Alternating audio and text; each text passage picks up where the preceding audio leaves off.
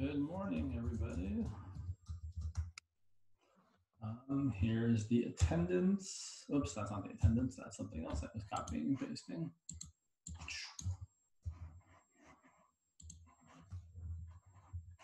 Here's the attendance, as well as a link to the um, tutoring that I mentioned a few times. So if you're looking for tutoring help, you can always go there and get it. Um, Sanders has continued to go on and on and talk about uh, linearization, I think, and Newton's method, which are always things I would prefer to skip if I could. But well, linearizations are important. Newton's method maybe less so. But I imagine you guys might not really be ready to talk about that stuff yet. I would assume you guys probably have homework questions, so we can certainly look at some problems similar to the homework if you would like to.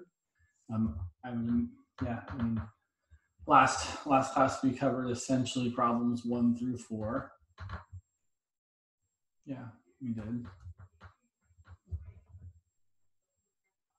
Yeah, so we could certainly do we could do more different, um, not different equations. We could do more uh, related rates if you guys would like. I've definitely got some related rates examples ready to go. Or we can look at some of the other questions about exponential growth and the inverse function derivative theorem. What do you guys want?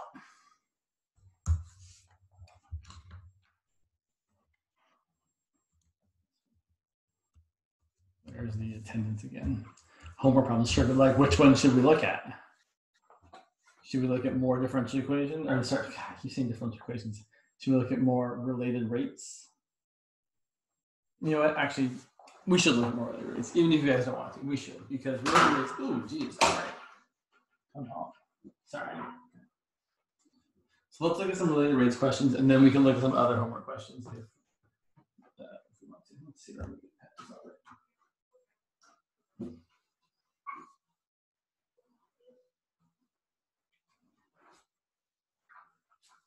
So let's look at a couple related rates problems here. Sure. So let's let's do this one. A plane flies, probably not high school flies, and let's say a toy plane flies at an altitude of 300 feet at a speed of, uh, I don't know, let's say 60 feet per second. It's probably pretty fast, whatever. I'm 60, now let's say 50.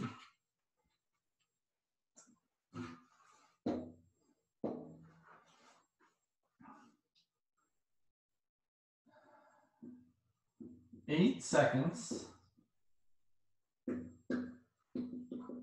after the plane flies directly overhead.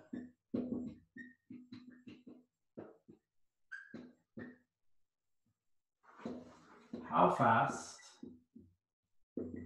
is the distance from me to the plane changing?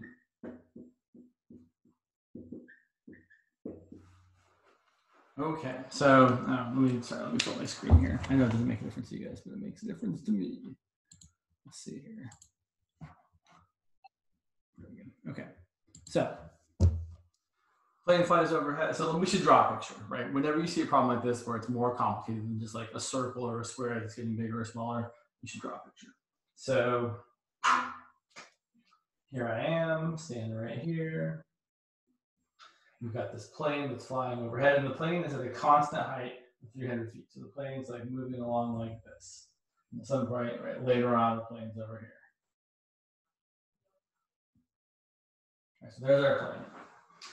And we're asking how fast is the distance from me to the plane increasing? So we should try to label the things we know in this picture specifically things that are changing and things that are, oh yeah, I'm sorry. There's link. Thank you, Al. Good job. You got it. You're on top of it. So I'm going to call this distance 300, right? Because it's not changing, right? The plane is always flying at the same height. This distance here, the distance from directly over my head to where the plane is, is increasing, right? It's getting bigger and bigger and bigger. So I'm gonna call this x, and this distance from me to the plane is also increasing. I'm gonna call it s. It's fairly typical to use s for a diagonal distance. I don't actually know why, but it is. So there's our picture, right? X is increasing and S is increasing, and this height is staying constant. And now we're going to set up our usual setup for a related rates problem. So there are kind of, if you count this as the first step, there's five steps. There's four steps after drawing the picture. The first step, what's changing? Well, we already kind of had to figure that out when we drew the picture, right? When I was drawing the picture, I was like, oh, I know that this is changing, so I labeled it with a variable. I knew that this was changing. So I know that x is changing. And we know that x is changing at a rate of dx dt. And that's just how fast this length is increasing. Well, this length is increasing at the speed that the plane is moving at. It's increasing at 50 feet per second. And we want to know how fast s is increasing, but we don't. That's ds dt. So we're interested to know what that is. Okay, so then the second thing we need to do is we need to find an equation relating the variables that are changing, x and s. So can anyone think of an equation relating x and s that has to do with maybe having a right triangle? There's the attendance link and the tutoring link again, by the way.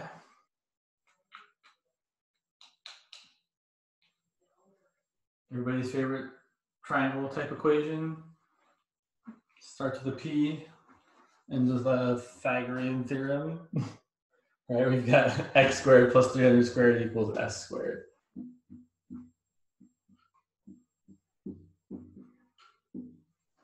And we're gonna run out of room, so let's go to the other side of things.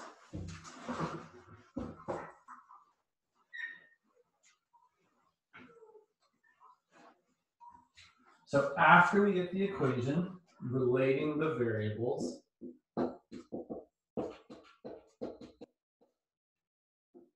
we're going to take the derivative of both sides, but we're going to differentiate with respect to time. And we are always under the assumption in these related rates problems that every everything here is a function of time, right? Because x is changing as time is increasing, and s is changing as time is increasing. So as time goes on, these things change.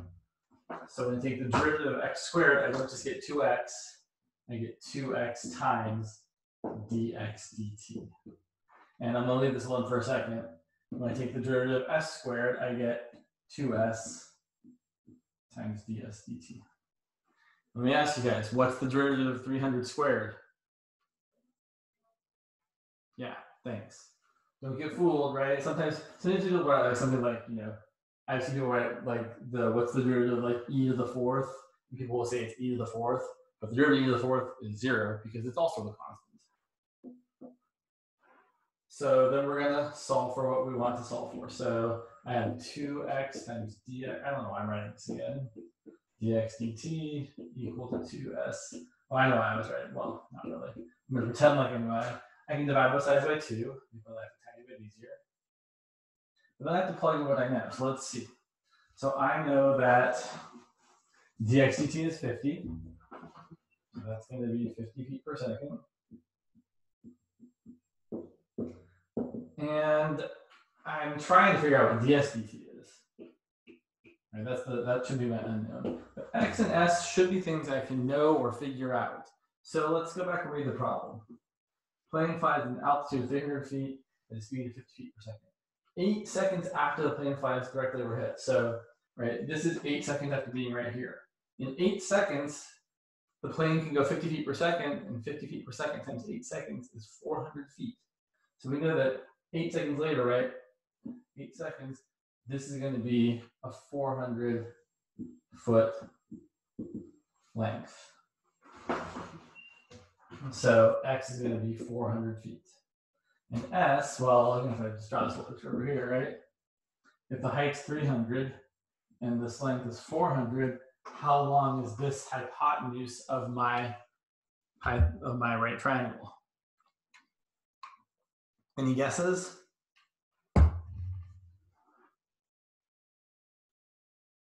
Yeah, and I think the way Elsie is getting that, I, I don't imagine Elsie actually did 300 squared plus 400 squared and took the square root. She recognized that, oh, we really just have a three, four, five Pythagorean triple, and then multiplied every side by 100 and said, oh, that's the same time again, 300, 400, 500 Pythagorean triple.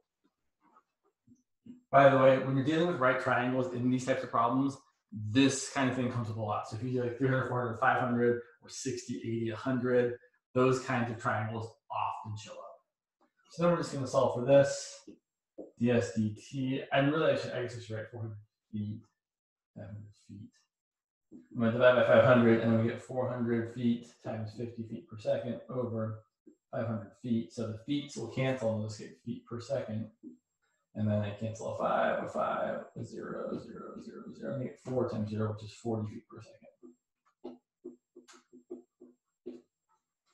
So at that particular moment, that's how fast the distance between me and the plane is increasing.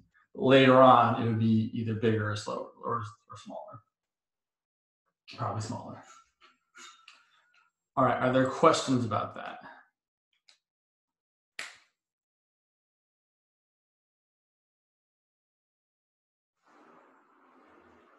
Should we do another related rate? Oh, can you go back to the answer? Of course. Well, maybe. um, so, uh, so we got so we took the derivative of both sides, right? So here's the derivative of both sides. Derivative x squared is 2x dx dt. Derivative s squared is 2s dx dt. We canceled the 2's. We divided both sides by 2. And then we just plugged in everything we knew. So we knew dx dt was 50 feet per second. We knew x. We figured out that x was 40 feet. Sorry, 400 feet by plugging in time or thinking about if eight seconds later, it's going to be 400 feet further. And then we figured out this was 400 feet and this was 300 feet, that this had to be 500 feet. So S was 500 feet. And then we divided both sides by 500. So I got 400 times 50 divided by 500. A 5 canceled, a 0 canceled, like a 10 canceled, a 10 canceled. That was left with 4 times 10, so 40 feet per second. One thing to keep in mind about this, which I always kind of think about, is it wouldn't make sense for this number to be bigger than 50 feet per second, right? If I'm moving in this direction, 50 feet per second, that's the fastest I could be moving away from this guy, right? But really, I'm not my right, from here to here. That distance isn't increasing at quite the same speed because I'm not moving in that direction. I'm moving in that direction. So, with however fast something is moving, it can't be moving faster than that away from something that's not like on a straight line from it. So definitely makes sense that it was a lesser rate of change. Um, other questions about this? Also, here is the attendance and tutoring again.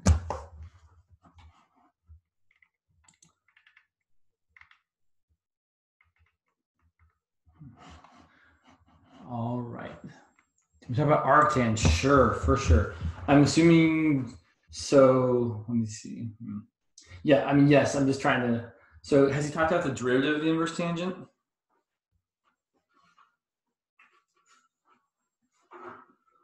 Okay. So, okay, we need to talk about this. So I'm guessing he probably did it in the following because I haven't actually, I haven't watched, I haven't been watching his lecture lately. I've just been kind of reading the notes and like, okay, he covered this. Um, so let me talk about how, so here, so here's what you probably need to memorize.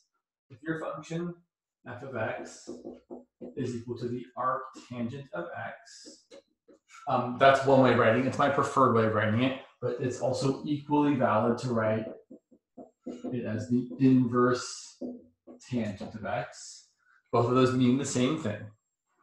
Um, and so what they mean, well, I should say, first of all, this is probably not the first of all part, but this is what eventually you know.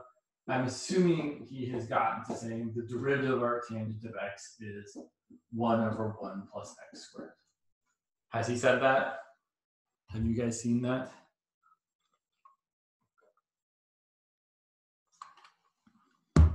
Okay, which I figured. you're definitely going to want to memorize that. It's going to come up enough that you need to know it.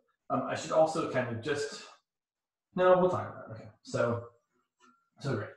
So here's what I'm imagining he did in class. To find the derivative of the inverse tangent, he probably did something like this. He probably said, well, we have this, yeah, God, this is a pain. Um, so let, let me back up for one second. So just so everybody knows how arctangent works, right? I know that tangent of pi over 4 is equal to 1. And I know that tangent of pi over 3 is equal to root 3. I know that tangent of pi over 6 is equal to 1 over root 3. Or if you prefer, root 3 over 3. The reason I'm saying these things is because the inverse tangent is the inverse function, right? So if I have a tangent of something equals something, I know the inverse tangent of 1 is pi over 4. Because the inverse tangent exactly undoes what the tangent does. And you can write it this way, or you could say the arc tangent, right? same thing, just a different name, of root 3 is just the angle whose tangent is equal to root 3. It's very similar to how exponentials and logs are inverse functions, right? I know that 2 to the third equals 8, and I know that log base 2 of 8 equals 3. So 2 to the x and log base 2 of x equal to g of x, sorry. These are inverse functions because whatever one of them does to an input to get you some output, the other one undoes that, right? If I plug in three here, two to the third is eight. If I plug in eight here, log base two of eight gets me back to three. Oh, excuse me, gets me back to three. And that's exactly what the inverse tangent function is doing. It's, it's taking whatever tangent did to this angle, giving you one, saying, oh, well, if you got one, then the angle was pi over four. So tangent inverse tangent spits out back the angle that you would have taken tangent of in the first place. Okay, so yeah.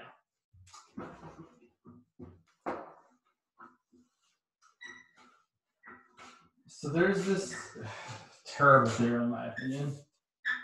It's perfectly fine. It just it always feels like it's so much to memorize. There's this theorem that says, oh gosh, let me see if I did I write it down somewhere? Maybe I did. I have no, I won't say I failed to remember it. Oh yeah, there we go. Okay. So if yeah. So it's the sentence says if you want to take the derivative of the inverse function, it's equal to 1 over, let me make sure I write this the right way. Yeah. f prime of, and now this is where things get weird. This part here is f inverse of x. Let me make sure I've written that correctly because I always get confused with this. I won't lie. Um,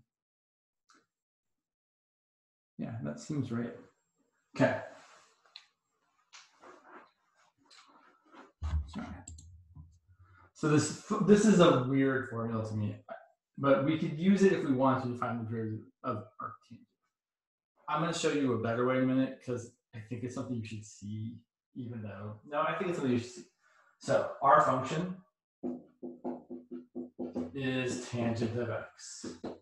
We're going to need the derivative of tangent. So f prime of x is secant squared of x. And we're also going to need to figure out how to take secant squared of the inverse tangent. This is where things get really weird. So, gosh, I really don't love this. Okay, so here, sorry, so right? This so ugh, let me write this out. so I'm taking the derivative of the inverse tangent, right? So I'm taking I'm writing this way: the derivative of the inverse tangent.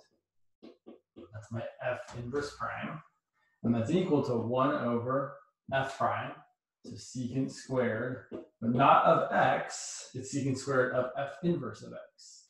So it's secant squared of the inverse tangent of x. And then you might ask yourself, how the heck do you get from that to 1 over 1 plus x squared? Well, it has to do with triangles. Let me write this a little nicer. And this is kind of why I spent a minute talking about what inverse tangent is, right? So if I said, you know, well, let me just go back to the side, right? Tangent of an angle equals one, or tangent of this angle equals one means inverse tangent of one equals that angle. So there's this relationship, right? You take tangent of something, you get a number. It's the same as taking the inverse tangent of that number and getting the angle. All right, so check this out. I'm going to say over here, this is, kind of, this is kind of the really key part to making this work.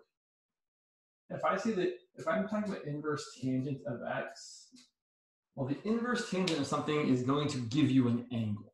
Right? When I talk about the inverse tangent of, of 1, the answer is an angle. Or the inverse tangent of root 3, the answer is an angle. So whenever, whenever you're taking an inverse tangent or any inverse trig function, the output is always some sort of angle. So when I take the inverse tangent of x, I'm getting some angle.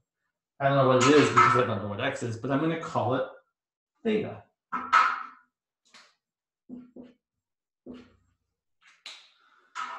Okay, now here's the important thing to know, right? If inverse tangent of something equals an angle, that's the same as saying tangent of the angle equals that something. So it's equivalent to write, there's my good green pen, that x is equal to tangent of theta. Right? Those things are mean the same thing. There are some domain range restrictions, but we're not really going to worry about that. Okay, and now I'm going to do something kind of sneaky. If tangent of theta equals x, well, tangent of theta is really x over 1. Okay, let's draw a triangle. Um, right, because I'm saying my angle is theta. It's a right triangle, by the way. And tangent is the opposite over adjacent. So tangent of theta equals x over 1 means x could be the opposite and 1 could be the adjacent. And then I can use the Pythagorean theorem to figure out what this third side is here. So that third side, well, if I call it, I don't know, c, 1 squared plus x squared equals c squared, so c is equal to the square root of 1 plus x squared, right? Because 1 squared is 1. Okay, finally, check this out inverse tangent is theta. So this derivative of inverse tangent is really the, is equal to 1 over secant squared of, well, inverse tangent is theta. But now I can look at this triangle to figure out what secant of theta is. Um, I'm never good with secant. So I would rather write this as, instead of 1 over secant squared, I would write this as cosine squared. Cosine is the adjacent over the hypotenuse. So that's 1 over the square root of 1 plus x squared. that's just cosine. To square it. And then 1 squared is 1. And square root of 1 plus x squared squared is 1 plus x squared. So that's actually how we show that the derivative of the inverse tangent is 1 over 1 plus x squared. Now, I still think it's kind of funky to do this. But I suppose the work I would do is pretty much the same, just a little bit different. I still want to show you in different ways. So let me show you one other way, just because I think it's better. But it sounds like you probably need to memorize this formula because it looks like he's got you at, eh, he certainly seems to be asking a few questions about it. So let me show you how we really do this. I mean, I'm not going to do anything different, really. I mean, I am technically what I'm doing is the same work, but I feel like to at least maybe it's just that other formula is weird. So here's what I'm gonna do. I want to find the derivative of the inverse tangent of x, which I know we just did. So here's what I'm gonna do. I'm gonna say y equals inverse tangent of x. And then I'm gonna take the tangent of both sides. Or I'm really just gonna rewrite it. That's the same as saying tangent of y is equal to x. And it's really important that you're okay with this, right? If tangent of an angle equals some number, it's the same as saying the inverse tangent of that number equals that angle. All right, but now here's the trick. We're going to use implicit differentiation to take the derivative of both sides. So I know that the derivative of tangent of x is secant squared of x. But the derivative of tangent of some stuff is secant squared of the stuff times the derivative of the stuff. Oh, but you can't just take the derivative of one side, you have to take the derivative of both sides, and the derivative of x is just 1. And look, we're getting back to the same place we're on the other side. I'm getting that my derivative y prime is equal to 1 over secant squared of y. And then I can say, oh, but tangent of y equal to x means y is my angle. Tangent of y equals x over 1. So the opposite is x, the adjacent is 1. My hypotenuse is the square root of 1 plus x squared. And then this is equal to cosine squared of y, which is just 1 over the square root of 1 plus x squared. squared. So this is, at least in my mind, the more normal way of finding the derivative of the inverse tangent by using implicit differentiation like this. But I mean, really, that's what we have done on the other side here. It's just a little bit different. So that said, let's look at a problem similar to problem 10 on your homework. I'm, I'm assuming, although I guess I should ask, are you, have you guys talked about the derivative of the inverse sine?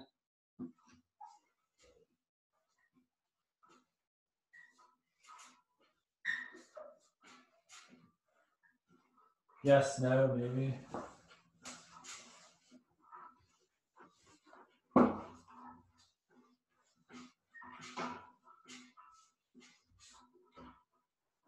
No, okay, I didn't think so. Um, we probably don't need to, so we won't. But if we need to, we'll. So let's see. So, yeah. sure. I'm gonna make this way more fun. Okay, I mean not way more fun, but fun enough. Sure. So let's find the line. Find the, I assume he means the equation of the line.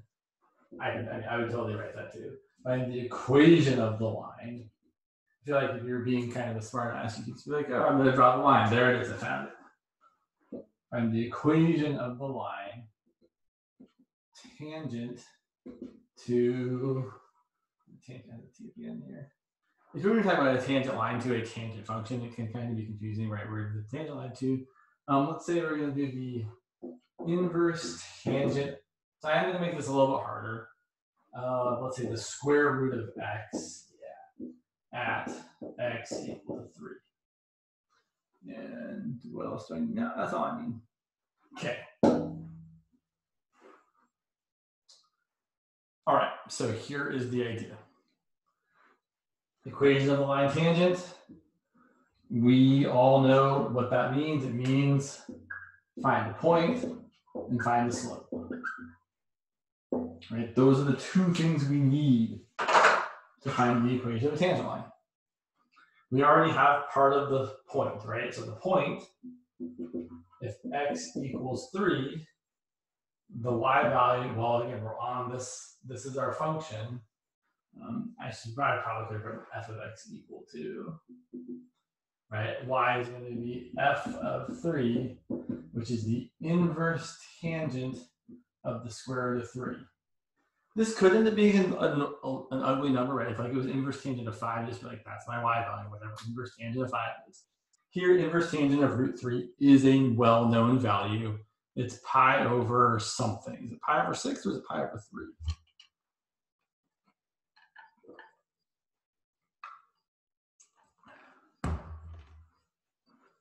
Everybody's like, oh, I know trig is so tangent of pi over three is equal to the square root of three, and tangent of pi over six is equal to square root of three divided by three.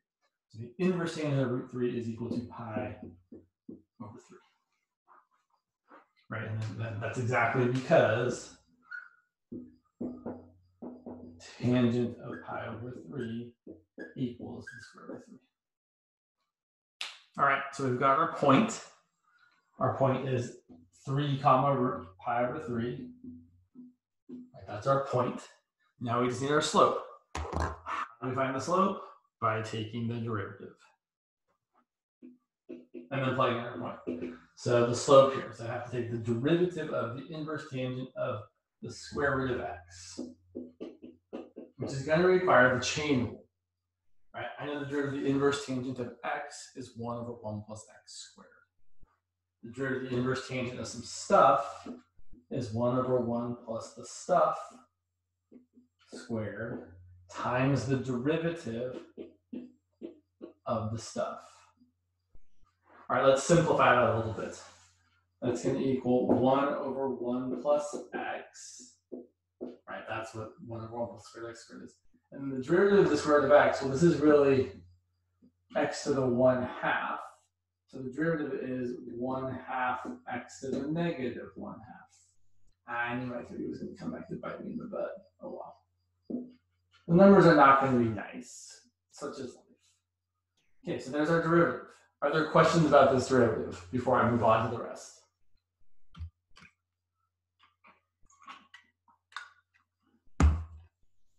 Okay. So then I'm going to plug in 3 to actually find the slope. So I'm going to get, let's see, 1 over 1 plus 3 is 4. Right, so the big fraction there. Times 1 half times 3 to the negative 1 half, which is not nice. So I get, let's see, 1 over 8, and then the 3 to the negative half is 1 over 3 to the 1 half, or 1 over the square root of 3. So you get 1 over 8 times the square root of 3. Okay, not my favorite slope ever. But now we have all the information we need, right? You've got a point, you've got a slope, you can write the equation as y minus the y value equal to your slope times x minus the x value. And I definitely would leave it like that for this one. I would not to simplify. His problem should be a little bit nicer because his derivative should be, you know, the derivative inverse tangent of x squared should be 1 over 1 plus x squared squared times 2x. Yeah. So right here, there's my 1 half x to the negative 1 half. And that right, that's the derivative because, sorry, I'm using the chain rule, right? The, the derivative, the inverse tangent of root x is giving me, well, the inverse tangent of some stuff is 1 over 1 plus the stuff squared. Then I have to multiply with the derivative of the stuff, which is the derivative of the square root of x. But the square root of x, right, the square root of x is just x to the 1 half. So the derivative using the power rule is 1 half times x to the negative 1 half. So then, after I found that derivative, I plugged in 3, right? So I'm trying to find the slope at 3. So I plugged in 3, I got 1 over 1 plus 3, which is 1 over 4. And I got a 1 half, right? That's just that. And then I got 3 to the negative 1 half. 3 to the negative 1 half, sorry, I know I'm random. 3 to the negative 1 half is 1 over 3 to the 1 half, which is 1 over the square root of 3. So I had 1 fourth times 1 half times 1 over the square root of 3, which simplified to 1 over 8 times the square root of 3. So hopefully that, yeah, good. Okay.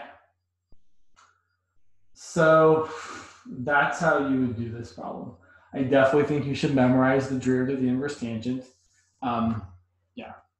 Also, I want to mention, I sent you guys an email. I posted a couple logarithmic differentiation examples that were from another class, but I feel like they're still good examples for this class.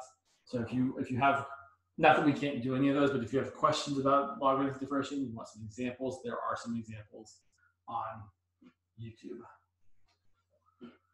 Okay, continuing in this vein, let's look at, I think I wanted to do one similar to problem. I don't remember which one. Let's take a look.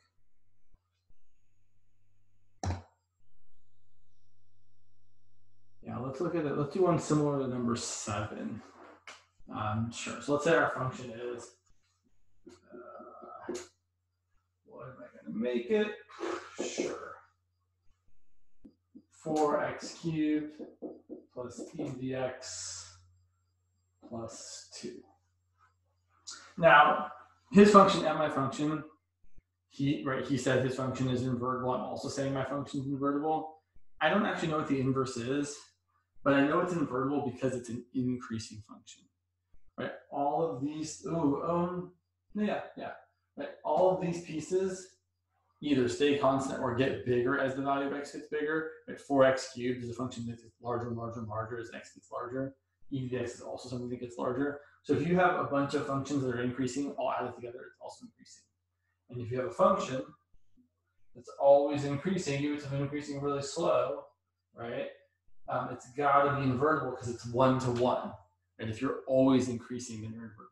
Now, do you really know this? Eh, maybe a little, but is, if you didn't know this, you could probably still do this problem just fine because he tells you it's invertible. But it is nice to know if you've got a function that's always increasing or always decreasing, it's invertible. So this is invertible, and I want to find, what do I want to find here? I want to find the derivative of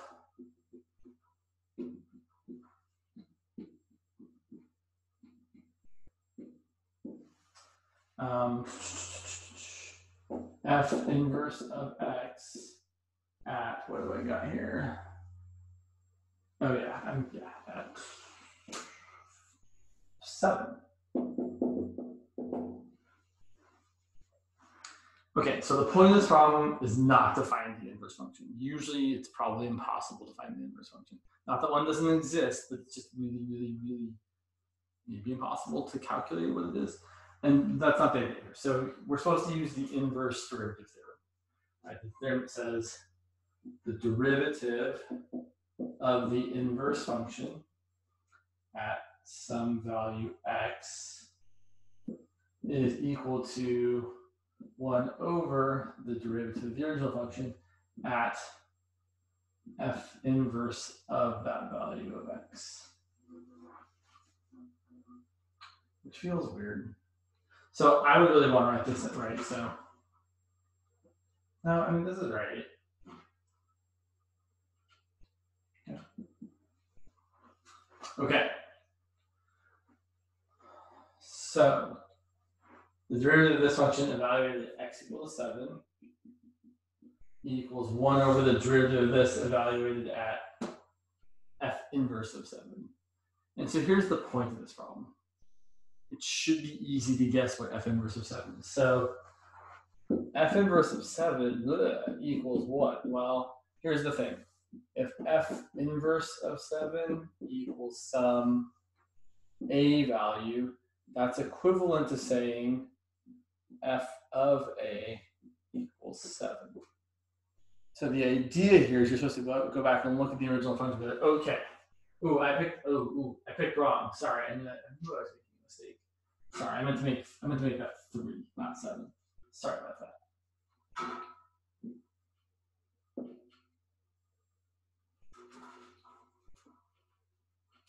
Now, now it's a reasonable problem. Okay.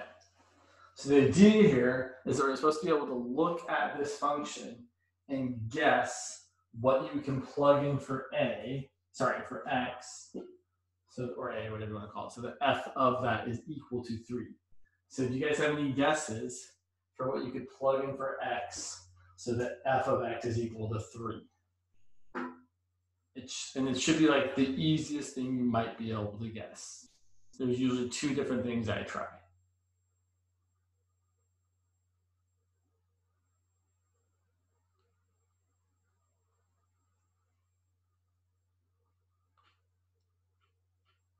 So what could I plug in for x and get 3 out? Let's see, if I plug in 1, does it work? f of 1 is 4 plus e plus 2. No, that's not 3. And I think if I go bigger, it's going to get worse. Negative 1, I'm plugging negative 1. Let's see, I get negative 4 plus, ah, see, e to the negative 1 is problematic, right? e to the negative 1 isn't nice. It's not going to give me an integer value. What's kind of the only power of e that's really easy to kind of deal with?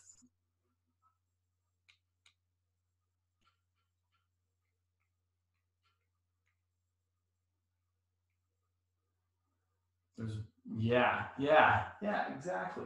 So the thing is, if this is supposed to equal some nice number, you can only really try the values of x that are going to make e to the x nice. And if we look at here, f of 0 is definitely 4 times 0 plus e to the 0 plus 2, which is 0 plus 1 plus 2, which is 3. So f of 0 is 3, which means f inverse of 3 is equal to 0. So here's the idea. Whoops. We're going to do say, okay, I'm going to take the derivative, I'm going to take 1 over f prime, right, the original function, evaluated at f inverse of 3, which is going to be just 0. So then I have to take the derivative. The derivative of this function here is, let's see, f prime of x is 12x squared. Oh, I actually made it more interesting. Oh well. You definitely made his problem a little bit more smarter than mine. Right. Plus e to the x plus 0. So I plug in 0 here, I get 0 plus 1 plus 0. So I get 1 over 1, which is 1. So that's the idea for problem 7, right? The idea is you're going to do 1 over f prime of some number, but the number that you're plugging in there isn't the derivative evaluated at, uh, I'm sorry, 4. It's the derivative evaluated at the inverse function of 4. And if you look at problem 7, I think you can all probably guess what f inverse of 4 is, right? If f of x is x squared plus 3x plus 4, what can you plug in for x to get 4 out? Exactly, right? You guys are already there, right? So I know that in this problem, right, this is the homework problem, I know that f of 0 equals 4, so I know that f inverse of 4 is equal to 0. So when you do his problem, it's going to be the same as mine practically, except different derivative. You're going to be calculating 1 over f prime of 0. You just have to find you have to find f prime using the function he has there, which is x cubed plus 3x plus 4. So that's kind of the gist of this inverse derivative theorem thing. Um, it's a little bit funky. It's not the worst thing ever, but it is not my favorite. Um, yeah. The, the, the, the thing we use it for more often than just like calculating the derivatives of inverse function at some point is we really do use it to find the derivatives of all the inverse trig functions as well as people also use it to find the derivative of either the exponential or the logarithmic function. Okay. So let me do an exponential different, or sorry, a logarithmic differentiation. Running out of water. Okay. So let's say I want to find the derivative of, hmm, what's going to be interesting? Sure, secant of x to the x. So here's the thing. If you see something like this, where you have something with a power and both the base and the power have a variable, we know we need to use logarithmic differentiation. And the first thing you have to do to be able to do this is you need to write an equation, right? You can't just say secant x to the x. You have to have y equal to secant x to the x. And the reason you need that is so then you can take the natural log of both sides. If you don't have a y here, you can't just take the natural log of the other side because you're changing things. So I'm going to take the natural log of both sides. And the reason for taking the natural log of both sides is when you take the natural log of something to a power, that power gets to travel down to the front of the natural log, right? We get this. So really this becomes the natural log of y equals x times the natural log of secant of x. And once you've done those two steps, then you can differentiate both sides. All right, what's the derivative of the natural log of y?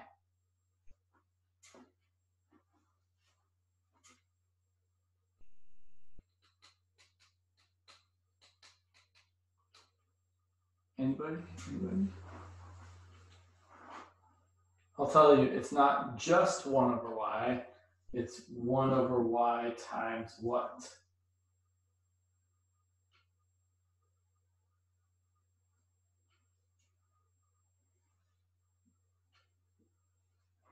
Yes, awesome, great.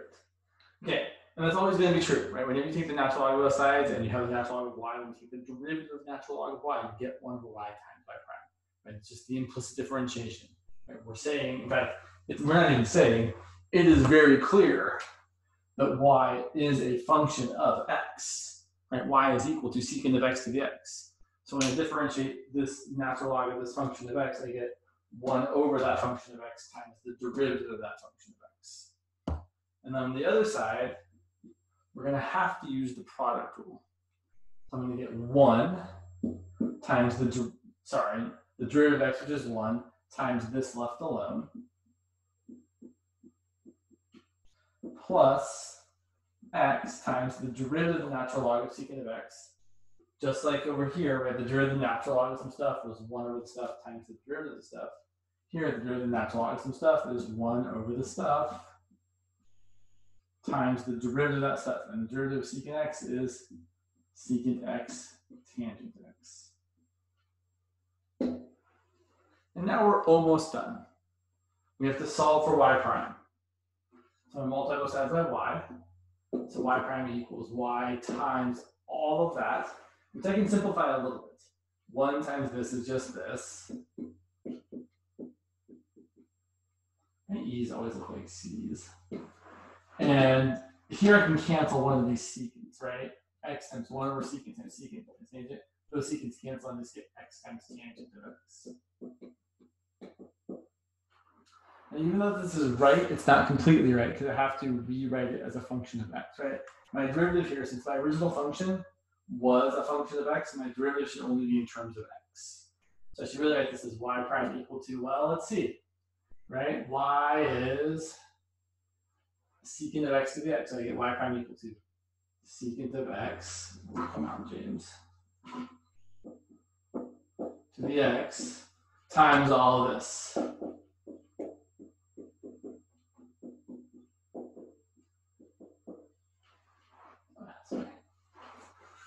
And that's how we do a problem like that with logarithmic, logarithmic differentiation.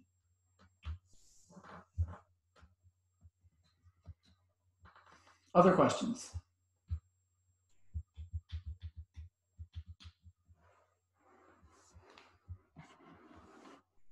See one thing here. Um, here's the attendance again one more time. Also, not that it, not that it matters really, but I think I noticed that I don't, don't think anybody did the weekly participation points last week. It's okay, but I just want to make sure you guys didn't just completely forget about that. So or if there was maybe an issue with it. Nobody emailed me or asked me anything, so I'm assuming you guys are just like, yeah, I didn't feel like doing that week, which is totally okay. But I just want to make sure you guys do know that it is something you are supposed to do every week. It's certainly okay to miss a week. I wouldn't worry about it if I were you. I just wanted to remind you that it is something to do weekly. All right, let me do one more problem. Um, I'm to do one similar to number five. And here's the thing about number five once you know what it's asking for, it's super straightforward. So number five says, and I'm gonna change it up. So let's see. Suppose that suppose that y is a function of x. So y is a function of x such that dy dx is equal to negative 5y. Right? Yeah. And suppose and suppose y equals, I don't know, 6,000 when x equals 0. Use x not t. Seems like an interesting choice, but okay, whatever. So, is that enough information? No, I guess it is. Okay, yeah. Sure. So here's the idea. With this, we are supposed to be able to write down what the um, model for exponential growth or decay is. So here's the thing, right? When you see dy dx equals negative 5y, you should immediately think, okay, now there's no. We know that y is equal to c e to the k t, um, kx, I guess, in this case.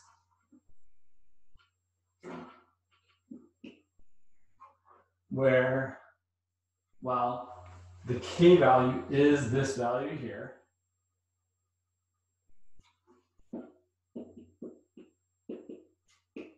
and the C value is your initial value. So if you're told that you have 6,000 whatever, is if Y is 6,000 when X is zero, you can either just say C is 6,000 or we could actually plug in, right? So I say, okay, X is zero and Y is 6,000. If 6,000 equals C e to the negative five times zero, well, negative five times zero is zero, e to the zero is one. And c times 1 is c, so I get c equal to 6,000. So the model for this, with solving for c and k, is y equals to 6,000 e to the negative 5x. And I do want to point out, because I think this is important, this really is a solution to this differential equation.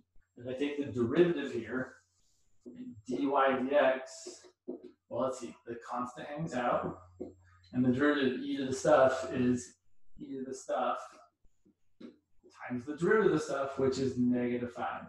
But check this out, and we're almost done. This part right here, that is y. So my dy dx is negative 5 times y, which is exactly the equation we started with. So whenever you see this differential equation where it's dy or y prime, if it's dy dx or y prime equal to something times y, you always say, oh, it's just going to be an exponential growth or decay, and it's y equals c to the whatever that coefficient is times x. So if you see this, you should automatically know it's going to be this. All right, that's all we've got for today. Um, make sure you fill out the attendance. Make sure you have a good weekend, and I will see you guys on Monday. All right. Oh, okay. I'm sorry about. I, yeah, I will. Oh, okay. Sorry, that was a private message, but um, yeah, um, cool.